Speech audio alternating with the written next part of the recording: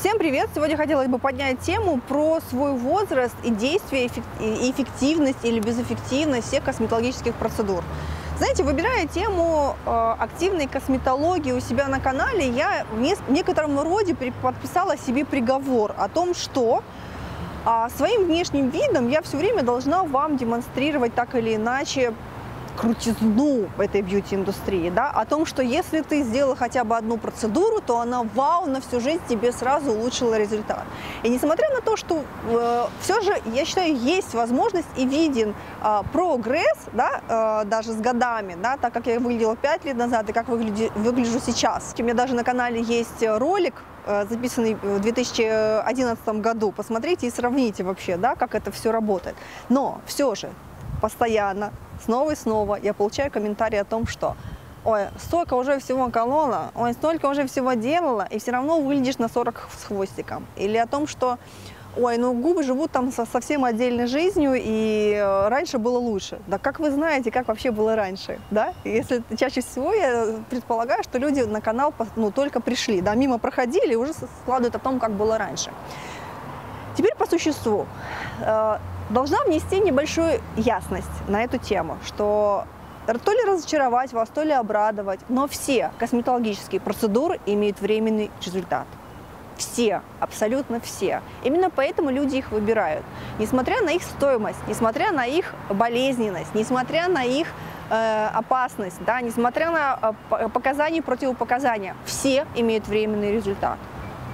Будь то, к примеру, мы берем филлеры. Филлеры как наполнители, филлеры как восстановители объема, губы, скулы, э, там, я не знаю, носослезная борозда, убрать синяки под глазами при помощи филлеров. Все действие заканчивается от трех месяцев губы до э, 6 месяцев, 3-6 месяцев. Потом под действием э, собственной гиалуронидазы это все дело расщепляется и действие геля выходит. А, нити. Нити для армирования, те, которые я не очень люблю, и нити для подтяжки тоже действуют, ну, 6, ну, 8, ну, 12 месяцев, не больше. Потом они рассасываются. Нити, нити не рассасывающиеся. Есть нити для подтяжки не рассасывающиеся. Такие специальные хирургические с насечками. Они действуют 2-3 года, но если вы при этом, э, у вас стрессовая ситуация, если как, по каким-то причинам ПТОС усиливается быстрее, да, то есть по психологическим причинам, причинам. Когда вы живете в шоке или что-то на вас сыпется снова и снова какие-то неприятности, то и это действие быстро закончится.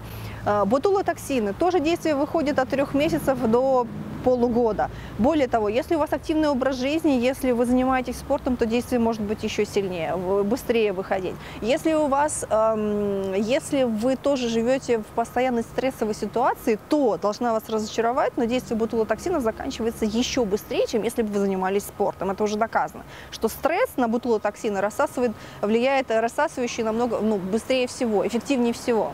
Если мы берем какие-либо пластические операции, да, то есть э, не контурную пластику, а именно пластику хирургическую, то здесь, конечно, действие может быть продлиться там, ну, на 5 лет. Но опять-таки, а, нам хочется что? Нам не хочется стать юной, как девочка. В любом случае, какие взгляд, в любом случае другие части тела будут выдавать возраст. Нам хочется что? Нам хочется задержать хотя бы тот возраст, который у нас есть. А если, если бы оно не рассасывалось, то риск был бы намного выше. Именно потому потому что оно рассасывается, мы эти процедуры выбираем. Поэтому, когда люди пишут о том, что, повторюсь, э, что ничего не работает и так далее, ну вы с чем сравниваете, да, то есть хочется спросить. Э, я привожу до и после, я показываю, вы можете благодаря постоянному ведению канала, вы можете отследить, насколько это работает. Вы меня видите тут ну, два раза в неделю, да, и вы можете отследить, вышло действие, не вышло, это и есть плюс. И я хочу, чтобы вы это ценили. Ну, те немногие из вас, которые, благо... спасибо большое, большинство из вас действительно ценит и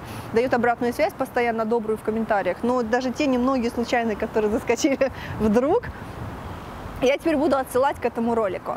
А, другое дело, вторая часть этого вопроса, э, когда люди начинают возмущаться внешним видом моих спикеров. Ах, не такие волосы, у трихолога. Да как ее вообще можно слушать, если у нее три перины на голове? Да? Как ее можно слушать, если она не следит за фигурой? Это по поводу внешности Ирины Поповой. Меня все время возмущает. Последний ролик с э, Натальей Алексеевной Чуйко. Где-то увидели у нее плохое состояние кожи рук, о том, что, мол, советы дает, а, мол, советы дает, а при этом у нее свои руки ужасные. Я специально пересмотрела ролик, чтобы посмотреть, где вы увидели ужасные я, руки. Я на приеме была у нее, да, в процессе процедуры я не видела ужасных рук. Отлично человек выглядит. Но почему-то считается такой стереотип, что э, у специалистов эстетической медицины, у специалистов красоты обязательно сапожник должен быть в сапогах. А вот если она ничего себе не делает, то значит сапожник без сапог, и что-то, видимо, она знает, раз она другим колет, а себе не, не колет. Девочки, ну давайте, во-первых, опять-таки, снова возвращаясь к этой теме, учитывать реальный возраст человека. Это раз. Вы не знаете, сколько лет Наталья Алексеевна Чуйко, я уверена, что она э, старше вашей мамы большинство из вас смотрящих. Это только, наверное, у нас такой стереотип, что если косметолог, если врач-инъекционист, то она должна все на себе применять и выглядеть просто как кукла, да, вот просто волосы накладные, макияж активный. Если врач без макияжа, все это уже не врач эстетической медицины, и она, вы, вы якобы ее ее навыки, ее опыт, ее врачебную, то есть, можно сказать, врачебную интуицию, все знания вы нивелируете до внешнего вида. Это неправильно.